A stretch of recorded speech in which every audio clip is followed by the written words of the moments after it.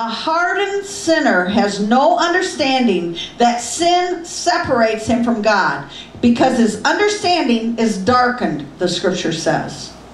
Ephesians 4:18 says, "They are darkened in their understanding and alienated from the life of God because of the ignorance that is in them due to the hardness of their hearts." There's ignorance.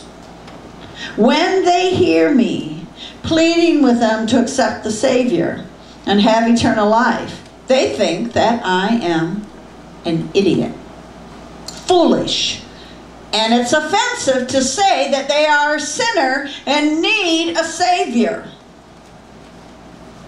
Because I don't say they are a sinner. Because I don't want to offend them. I just tell them how much God loves them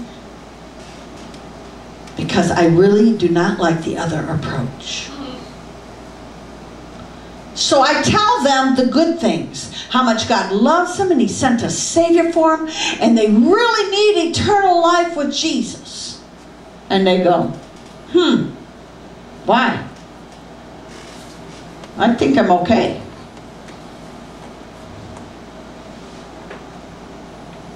First Corinthians 1.18 says, For the preaching of the cross is to them that perish foolishness foolishness. It's offensive because he doesn't think that he's a sinner. And other people are far worse off. I'm okay, I'm not that bad. I go to the Methodist church in town twice a year.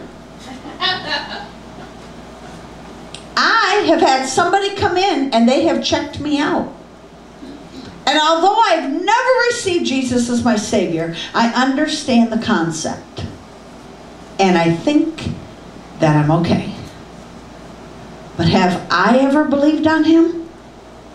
No, but my wife did. Or my daughter did. Surely that qualifies me. No. And in my goodness, and my good bedside manner, I let them go to hell. And I'm like the little guy that sits in the fire truck.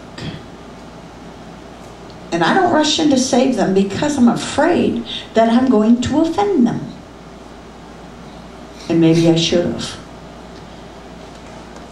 Do I look like I feel guilty on the people that have turned down Jesus? No. I don't feel guilty. But I've been questioning God. God, I can't have turnout results like that. They've got to understand clearly that they're what they're looking at. They're looking at heaven or they're looking at eternal death, hell. You know God says to me? You didn't tell them that. I can't say that word. Hell. It doesn't sound good on a deathbed.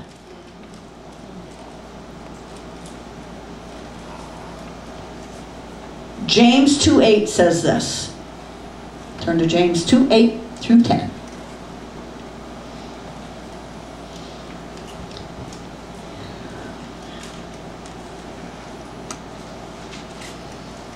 Love your neighbors yourself. If you, let me read it. If you fulfill the royal law, the royal law, who? According to the scripture, you will love your neighbor as yourself, you do well.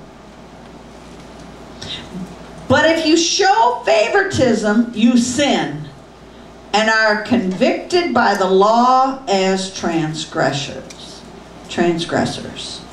Whoever keeps the whole law but stumbles in just one point is guilty of breaking it all. So if I take the moment to open the law and show them, have you ever broken the law? Then you're considered a transgressor, transgressor against God. Because if you break one, you break them all. I would just have done that, And that is why you need a Savior. Now they're ready because I can tell them, but don't worry, for all have sinned and come short of the glory of God. Me too. Romans 3.23. Me. I, I've been a sinner too. But the good news is